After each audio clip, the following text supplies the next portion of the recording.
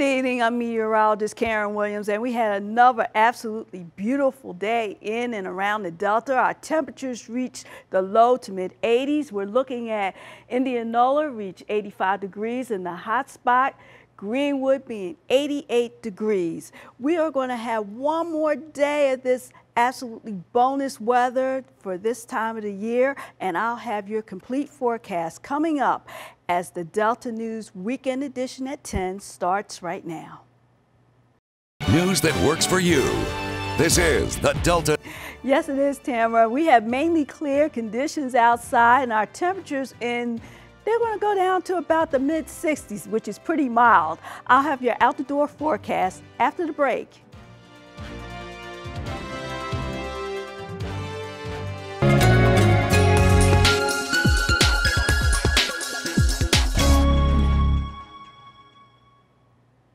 As we take a look at our satellite radar, there are some showers and thunderstorms that developed along the Tennessee border there. That's going to stay pretty much up to that area. It might be one or two clouds and maybe a little bit of fog in areas towards Tunica, Ripley, and Oxford what you see here in the green area, this is moisture that's not hit the ground. So for the most part, if anything, we are going to be dry for this evening and that thunderstorm shower activity will stay mainly to our north. As we go in a little bit closer here on our radar clouds and everything, this is uh, a front that's going to be moving in, and that's the one that's sparking those showers and storms. But for us, it's going to be dry for another day or so before another line will move in, and that will give us an opportunity for some showers and some thunderstorms. And then that's going to take our temperatures down just a little bit. Now looking at your out-the-door forecast, 7 a.m. we'll have mostly sunny skies, 68 degrees. By 1 p.m. we'll get on up there to 82 degrees and then by 7 p.m. 83 degrees. Now, right now, Greenwood is at 73 degrees.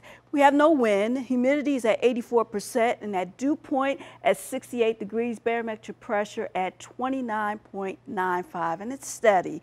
Greenville is at 74 degrees with the south wind, 6 miles per hour. Humidity 73%, and that dew point at 65 degrees. Lows tonight, they're not really lows. They're going to be in the upper 60s to low 70s, which is very mild. We're looking at Carroll Carrollton is 66, Kosciusko is 63, Tchula is 66, and 68 for Cleveland.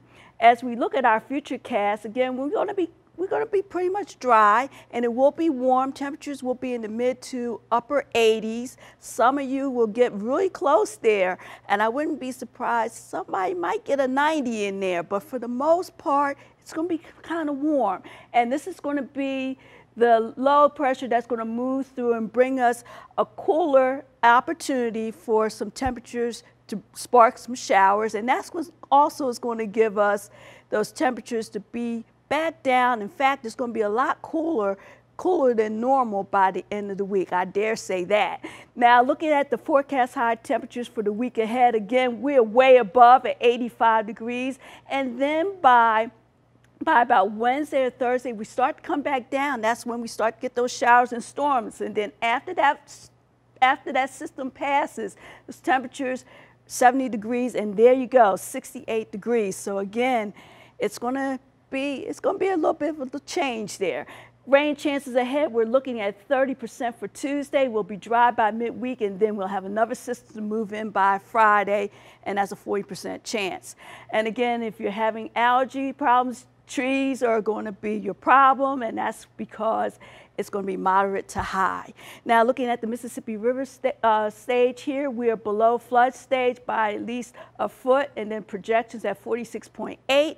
And then looking at the Yazoo, we are below flood stage at the reading at 28.5 and then 27.9 by Thursday. Looking at that forecast, we'll have mostly clear skies, breezy, and then it'll be mild, 68 degrees. And then for tomorrow, we're looking at mostly sunny and breezy conditions, 85 degrees. And then looking at your seven day forecast, we have that system that will be moving in on Tuesday by in the afternoon, 81 degrees. Wednesday will be down to 78 degrees. It will be dry Thursday, and then we have another chance for showers on Friday before the next weekend. We're looking at temperatures barely barely trying to get into the 70s.